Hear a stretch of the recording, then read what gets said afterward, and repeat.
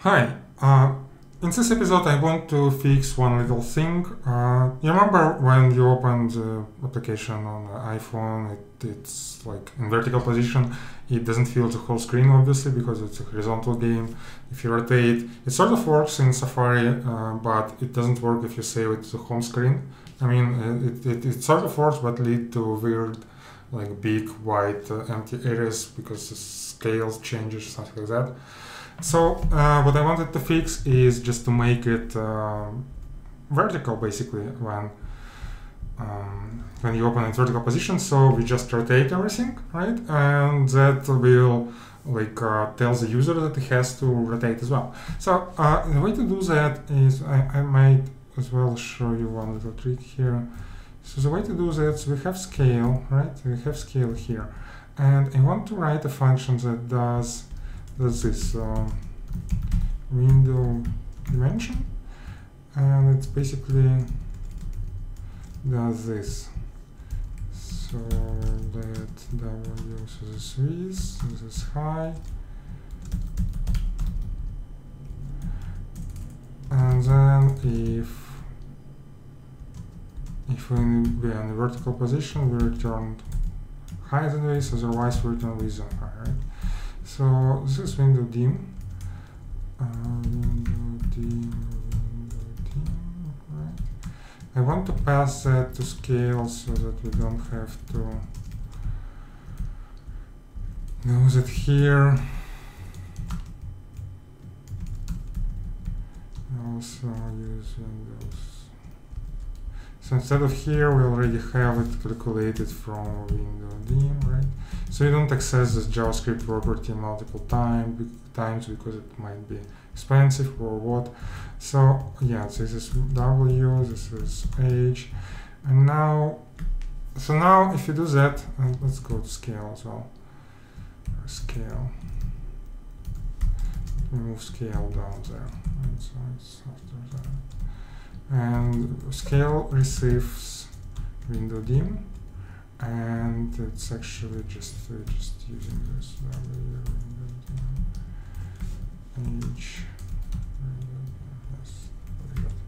okay I don't need those. Uh, so yes if I save let's see it compiles. Compiles great. So the idea is for, for now it works as before right? Oh no it doesn't. What? No, now it's strange um, if Reese is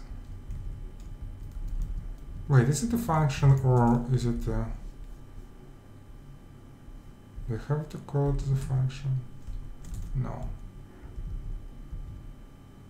Or do I? No it's not a function. Okay so why isn't it working? Scale window dimensions Oh, because, oh, of course, because I, I have to do this. I, I have a special data structure for dimensions specifically. Yes, yes. So it doesn't doesn't rotate yet. So uh, how do I figure out uh, if you have to rotate? So if you if you do that, it doesn't rotate yet, but it uses the wrong uh, width and height, right? So because they swapped. So, and I want to return this dim because we already have the dimension, right? So I don't want to return anything else like extra argument or something. So I'm going to use metadata on it. And metadata will be rotate true. Okay, so basically the same data structure, but if you look at in meta, we'll find that we have to rotate. And here we have to check for that if rotate meta window dim. If we have to rotate we do one thing otherwise we do the other thing. Uh, the thing that we have to do is more or less we also need to string but there, there are going to be multiple uh, multiple transformations. The first one is rotate right? So rotate by 90 degrees. If we do that we see nothing because it uh, it's on the left. So we have to translate as well. So uh, translate, And to translate, we have to translate, uh, so rotate uh, by 90 degrees is clockwise. So we have to translate up now, which is right. Uh, I, it, it probably will be clearer if I just show you what's going on like this. Right, and we have to go up. Uh, so we translate 0 minus 2 pixels, 100 pixels. Yeah, so we have to go up for the height of the screen, which is h, but already scaled. So we'll reduce the scale, so scaled, so this uh, minified scale, and we save like this. Let's see, yeah, and now it fits like almost perfectly, right?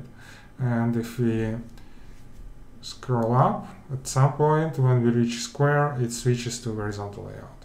And in this layout, it will tell the user uh, that it, he has to, to rotate. Let's see if it works for iPhone screen.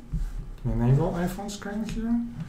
And yeah, and let's refresh. Okay, yeah, and, and it's already in correct orientation. If I rotate, it does what you expect it to do. So it, it shouldn't be like seamless, but I don't think you can do it seamlessly on iPhone, but it's almost seamless.